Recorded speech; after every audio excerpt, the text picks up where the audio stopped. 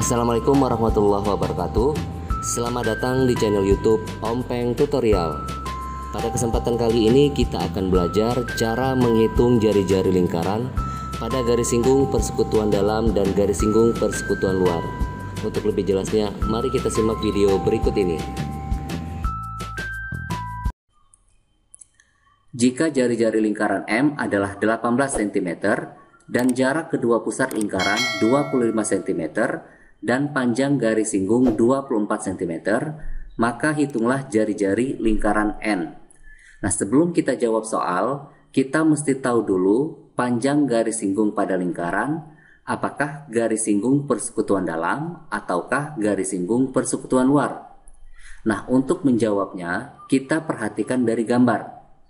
Berdasarkan gambar, ini sudah bisa dipastikan bahwa yang diketahui adalah garis singgung persekutuan luar ya. Nah, kalau sudah diketahui garis singgung persekutuan luar, maka dapat kita tentukan rumus untuk menghitung garis singgung persekutuan luar. Rumusnya yaitu M kuadrat sama dengan D kuadrat dikurang dengan jari-jari lingkaran besar dikurang dengan jari-jari lingkaran yang kecil, kemudian kita kuadratkan ya. Nah, M, M ini adalah garis singgung persekutuan luar besarnya tadi yaitu 24 cm. Maka 24 kita kuadratkan ya. Sama dengan D. D ini adalah jarak dari titik pusat lingkaran yang besar menuju titik pusat lingkaran yang kecil. Jaraknya tadi yaitu 25 cm ya. Maka 25 kita kuadratkan. Dikurang dengan jari-jari pada lingkaran yang besar yaitu 18 cm ya dikurang dengan jari-jari lingkaran R inilah yang mesti kita hitung ya. Kita kuadratkan.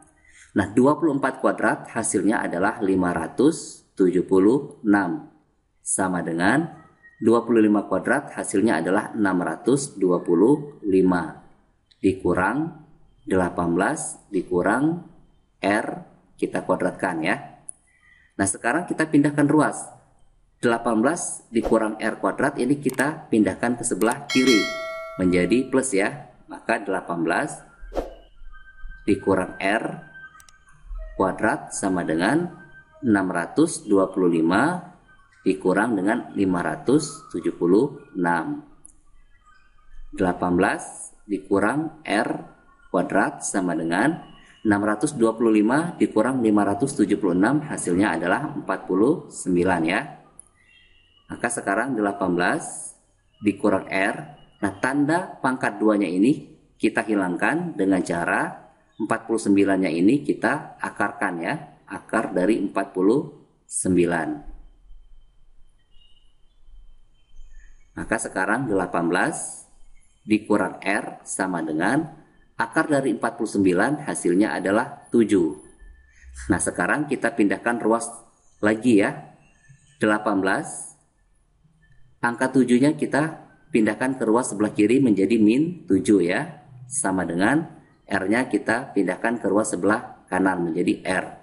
Atau kita tukar menjadi R sama dengan 18 dikurang 7 hasilnya adalah 11. Maka kita dapatkan jari-jari pada lingkaran R itu sebesar 11 cm.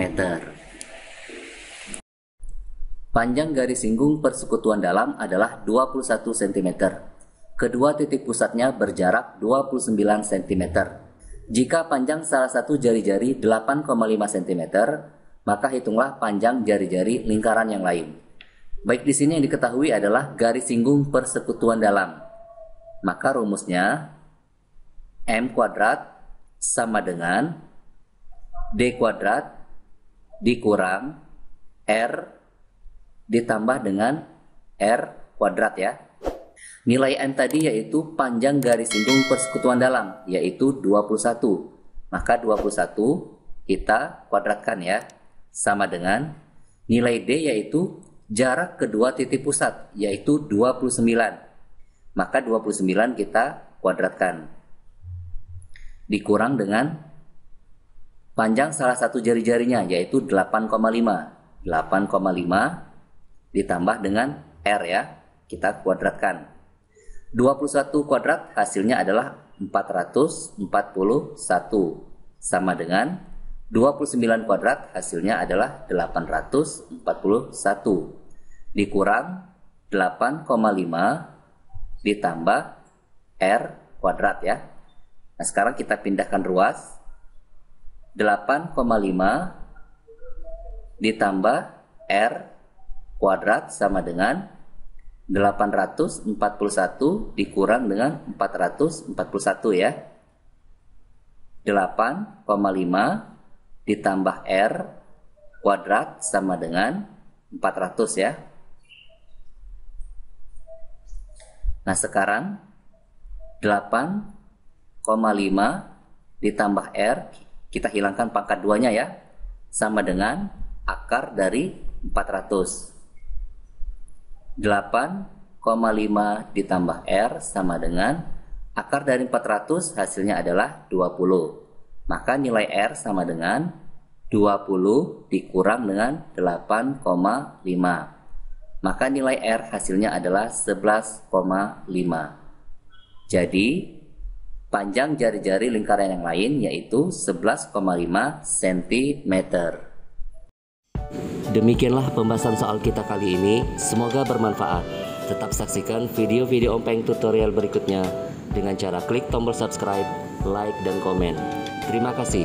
Wassalamualaikum warahmatullahi wabarakatuh.